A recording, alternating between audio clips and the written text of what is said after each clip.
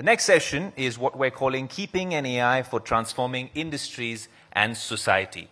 AI for Social Good has emerged as a transformative force, revolutionizing industries and society at large. In the next session, we'll be joined by a very special guest, I'm guessing we'll be patching him in, Romesh Wadhwani, a visionary entrepreneur and philanthropist who will share his insights on the responsible use of AI for industry, transformation, and societal well-being.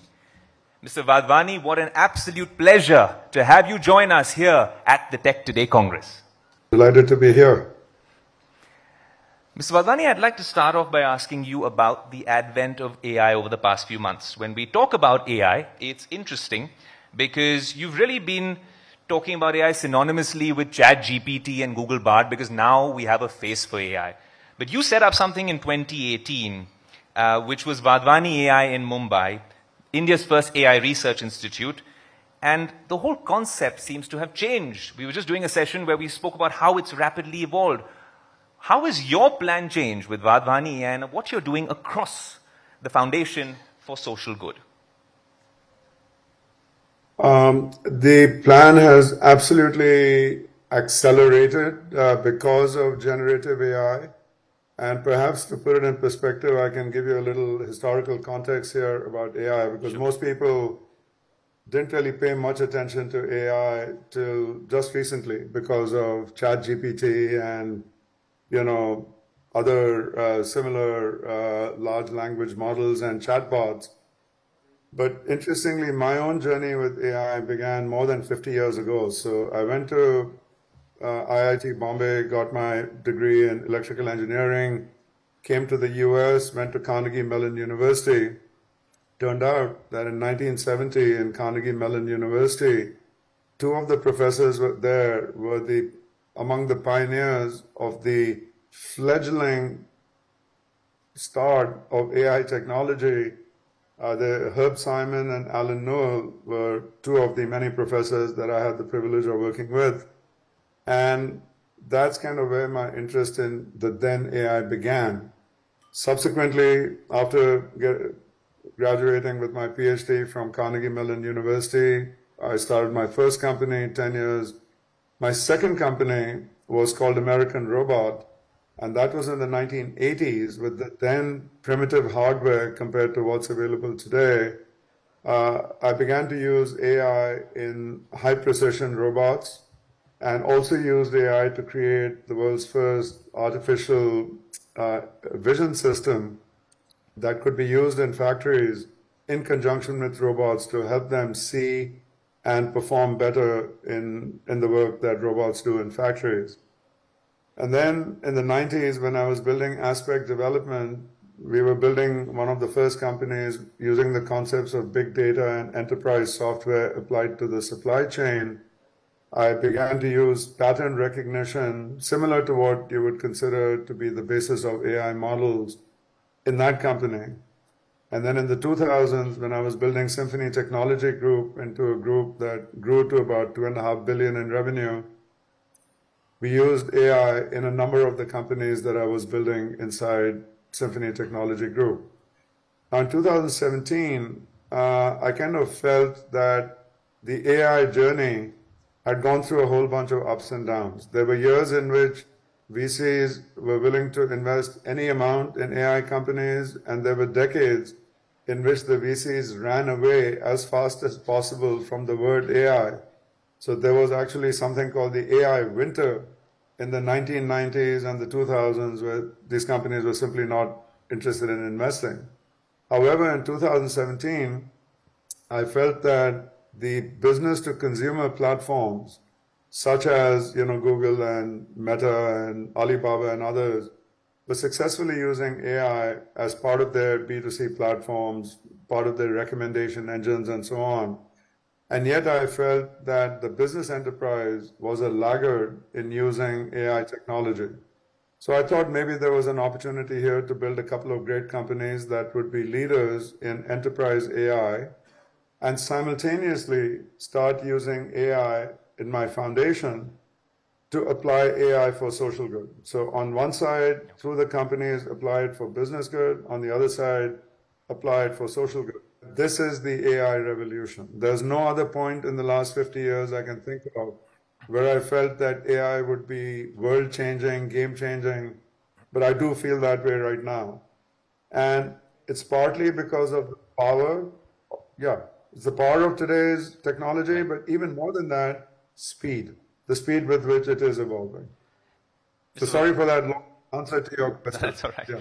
Mr. Wadhwani, Mr. Wadhwani, you're joining us all the way from Palo Alto. And of course, there's so much action happening in the US.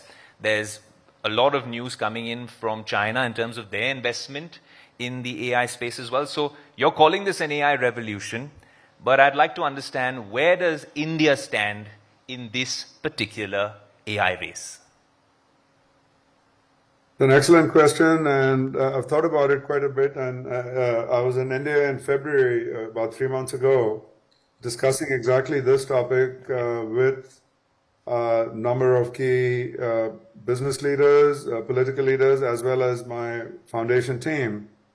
And my feeling is it is not only India's great opportunity, but actually it is India's responsibility to be one of the top three players in AI. Now, can India be number one or number two? At least at this stage, I don't see it. But can India be number three in the world in AI? That is absolutely possible. Now, to do that isn't going to just happen accidentally. It's going to require massive national scale initiatives for the application of AI, ministry by ministry, program by program. Uh, and just as digital transformation has played a big role in India's progress over the last few years with you know national platforms like Aadhaar and UPI and others. Uh, I think there's need for an AI transformation of many programs that the Indian government has or could have and could plan. But I'm glad that you're at least saying that India gets a podium finish. We've had panelists who think otherwise we might just be number one in that AI race. But we were talking about an AI special magazine issue, which the Business Today team has worked on, and there's an exclusive conversation with Stuart Russell, one of the signatories to that particular open letter that we were alluding to earlier. And he's actually said that if guardrails are not in place, then it could be like a Chernobyl like situation for AI. Is that genuinely a concern? Do we need regulation? Or should we then risk a situation like Mr. Russell's talking about? Yes, I'm of the same view. I, I, would just say that the use of the word guardrails is a is very innocent language and probably needs a lot more than guardrails. And I, will give okay. you an analogy here. Uh, people have talked about using comparables like the regulation of atomic energy by the International Atomic Energy Agency. Well, the International Atomic uh, Energy Agency is, first of all, not that effective because we can see that there's been a proliferation of atomic energy in North Korea and emerging in Iran and in Pakistan and other countries. All of them circumvented the rules of the uh, International Atomic Energy Agency.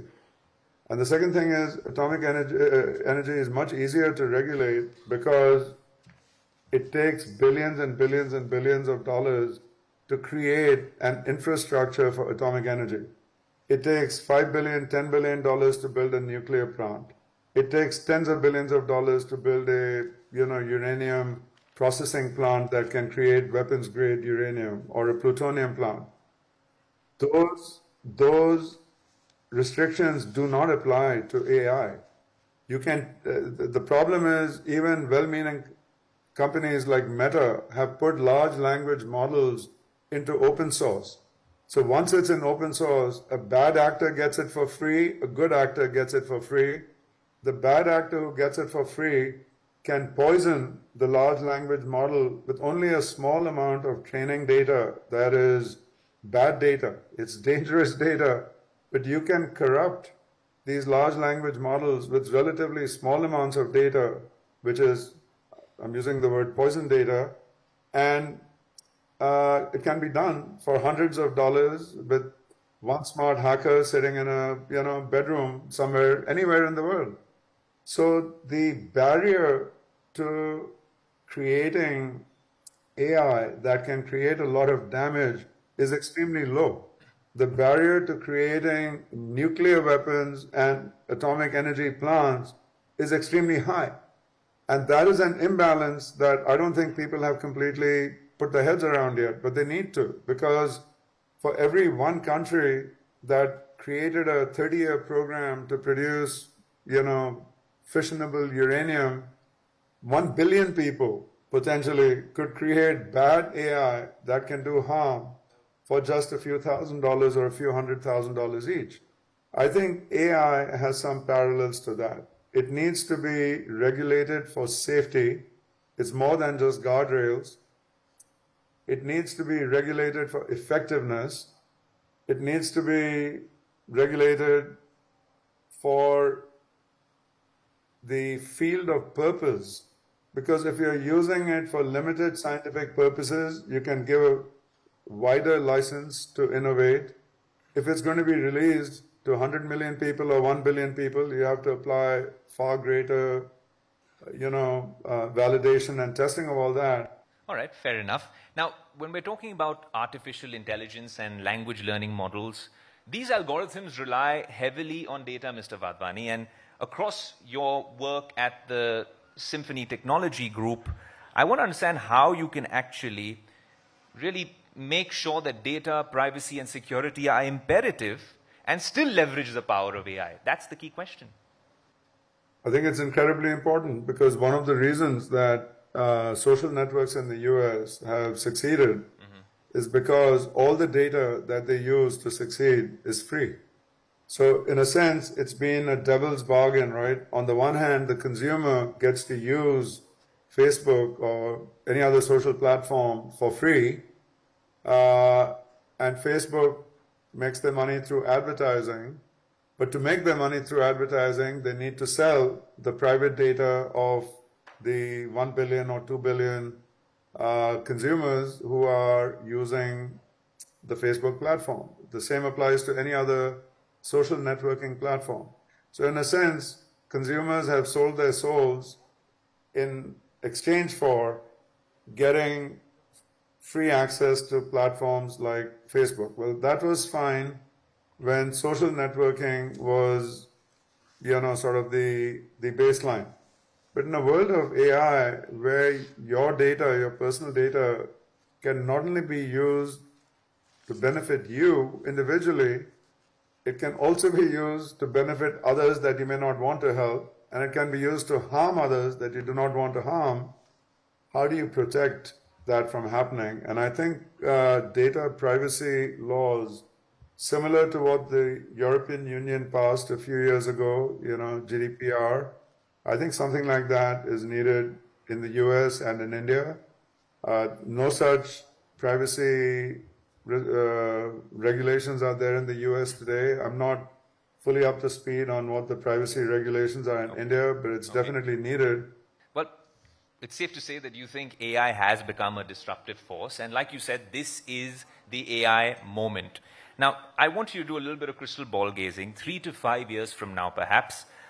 What are the key sectors where we'll actually see disruptions? Because it's clear from our first session that AI is a double edged sword while people are worried about how it takes away some repetitive jobs, it might augment existing jobs as well. So I, will start by answering the question in reverse okay. by indicating a sector in which generative AI is not likely to have a significant jobs impact, and that's really uh, jobs in the agriculture sector, jobs in the construction sector, and blue collar jobs in the manufacturing sector.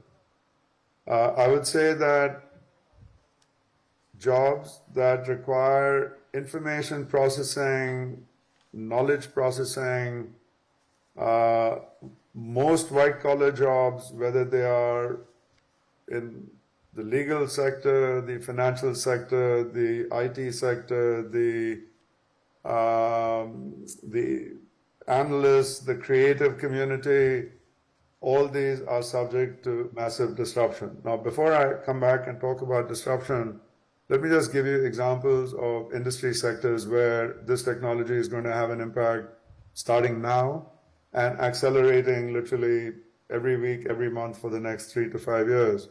So I'll start with life sciences and healthcare. Drug discovery is going to get revolutionized, going to happen much, much faster. Clinical trials, which currently take three years or longer, probably be accelerated down to about 50% of that time. Uh, the personalization of medicine, where drugs can be, uh, uh, you know, sort of targeted for specific individuals, uh, that that will happen, you know, relatively soon. Uh, now in India, obviously, salaries are at very different levels, but in the software sector, there will be a lot of disruption because generative AI can be used to perform the work that is today being performed by junior software engineers or even mid-level software engineers. Three years from now, generative AI will be doing the work of the most senior software engineers. How do they need to change their knowledge and their their uh, career plans to take advantage as compared to getting disrupted? So massive disruption coming. Unfortunately, that's not something you can regulate.